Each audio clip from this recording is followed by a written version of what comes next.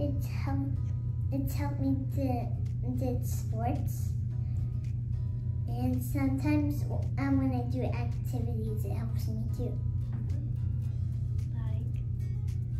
Like, Like soccer, it can help you in basketball, like any sport.